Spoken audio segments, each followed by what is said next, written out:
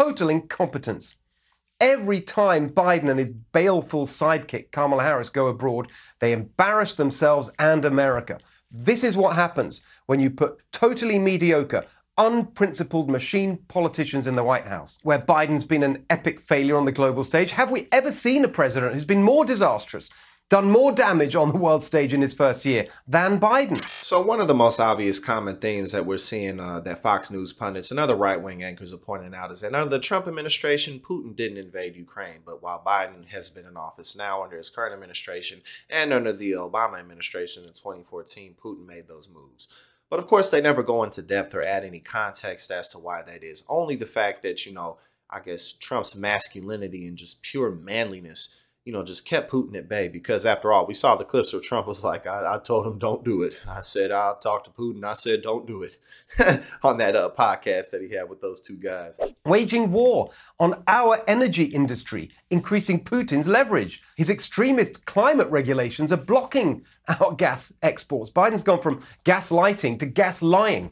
But again, and then also he goes straight into immediately after just pointing that out that, you know, America's, you know, stepping into clean green energy. That's that's done it as well because, you know, under the Trump administration, we wanted the Keystone, you know, Biden, he's he's not moving towards that. You know, as as right wing uh, pundits continuously say, and politicians that you know, it, it's really just that America has to maintain control over the world oil markets. That that's what's going to maintain not only peace here but everywhere else in the world if if if we're number one you see that that's all that it takes. And look at the result. War through weakness. The worst in europe since hitler and world war ii that's what these great foreign policy geniuses have delivered with their years of experience. Now they claim biden has led nato rallied the allies. What a load of old toot. Biden couldn't lead his way out of his own bedroom let alone lead nato. He's never led on anything in his life, and certainly not on this, following Congress, following the French, following the Germans. My man said, Oh, what a load of old toot. I ain't never heard that before, but I like that. I'm going to remember that forever. But he said Biden couldn't lead his way out of his own bedroom, which, you know, there's certainly some legitimacy there. But eh, however, let's let's look at the last two Republican presidencies, okay? Okay, under Donald Trump, you know, where when he would go to world conferences and world leaders would laugh at him to his face you know, all just, you know, the history of fraudulence and the fact that he's just a giant walking lie, the fact that we were totally ill prepared for COVID, you know, the fact that all he really did while he was there was lower taxes for the ultra rich, especially as time continues to drag on with the sunset provisions and what have you. Uh, and, and then let's take a look at the previous one after that, you know, the George W. Bush administration.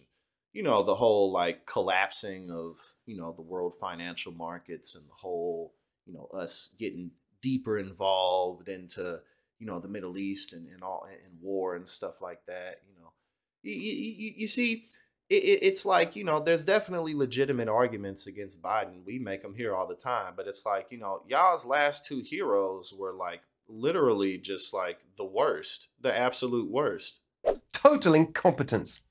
Every time Biden and his baleful sidekick Kamala Harris go abroad, they embarrass themselves and America.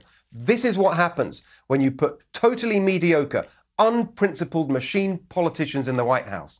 And then they always point to the fact that, you know, Putin did this under the Biden administration. Oh, look, Kim Jong un just launched a, a, missile in a test. You know, things like that, as if it wouldn't have happened under Trump. But whenever they do these things, Trump praises them for it. You know, he says, you know, Kim Jong un, you know, that's a smart guy. You know, he's, he's strong. It's a strong man. You know, he loves Putin for the same reason. He's strong. You know, you got to admit he's really smart for that. You know, people who who who are authoritarians and dictators, as we talk about here all the time. You know, those are the type of people that he congratulates for doing what they want because it's strong.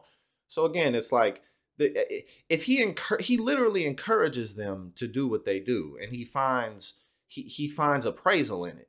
You know, he he thinks that it's a beautiful thing when people do terrible things because they can and because they have the power. And this obviously is how he works and operates his businesses and always has, you know, ripping off contractors and the whole lot.